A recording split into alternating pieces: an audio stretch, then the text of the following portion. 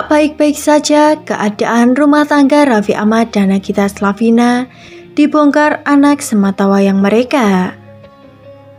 Istri Raffi Ahmad Nagita Slavina dikenal memiliki tas dengan harga fantastis.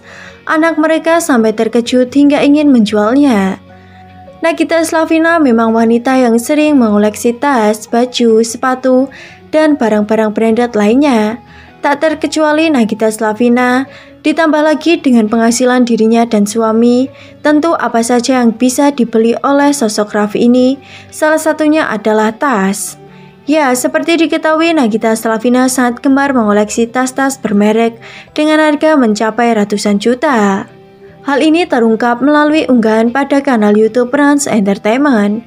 Awalnya, Rafathar heran kenapa sang ibunda gemar mengoleksi tas-tas yang harganya selangit. Melihat tingkah Nagita, akhirnya Rafathar tiba-tiba minta izin untuk menjual tas milik ibunya. Bahkan lucunya Rafathar berencana menukar tas-tas mal tersebut dengan menggantinya dengan mainan.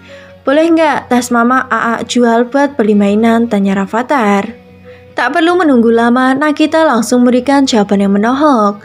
Nagita Slavina secara terang-terangan mengaku, Oga jika tasnya dijual oleh sang buah hati. Ya nggak boleh dong, mama balikin, boleh nggak mainan AA mama jual, ucap Nagita. Dengan sedikit geram, Rafathar pun kembali bertanya, perihal kadar rasa suka Nagita kepada tas-tas bermereknya tersebut. Berarti mama sayang banget sama tas mama, tanya Rafathar.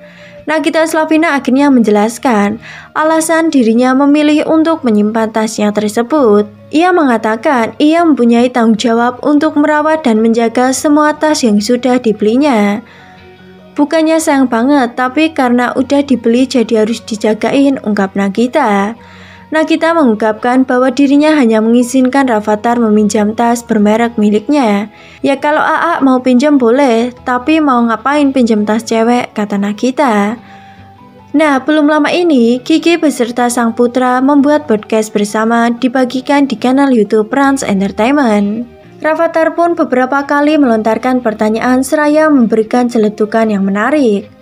Mama kenapa gampang nangis kalau nonton film Korea? Tanya Rafathar. Mendengar jawaban Gigi, Rafathar kemudian mengungkapkan bahwa ia pernah melihat sang ibunda bertengkar dengan Raffi. Mama bukannya cuma nonton film Korea aja yang nangis, jawab Nagita. Berantem sama papa ya? Tanya Rafathar. Putri Rita Amalia itu menanyakan maksud sang putra.